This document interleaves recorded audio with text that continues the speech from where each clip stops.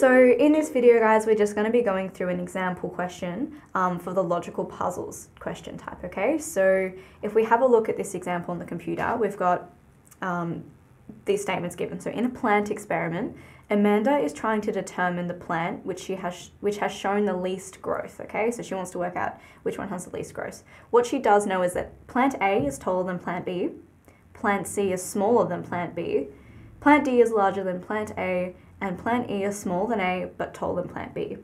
So personally the way that I go through this question is I write out just some like little kind of symbols on the side to help myself work it out. Okay, so I've got A is greater than B, we've got C is, so I'll do it this way, B is bigger than C.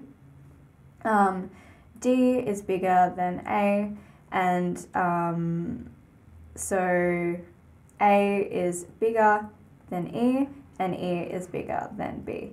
So based on this, what we can do is kind of create a list down the bottom that represents the scale. Okay, so what we can see um, is that D is the tallest, then it's A, so D is taller than A, then we've got A is bigger than E, which is bigger than B, and B is bigger than C.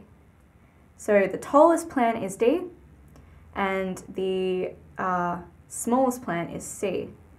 Okay, so when we're going back then to these answers, we just have to match this up. So which one has D as the tallest and C as the smallest?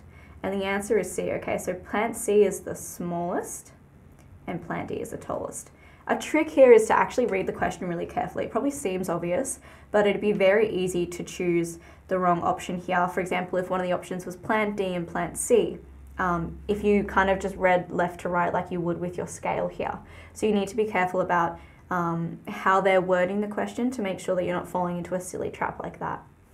All right, so we'll be going on to some different uh, question type examples in the next videos.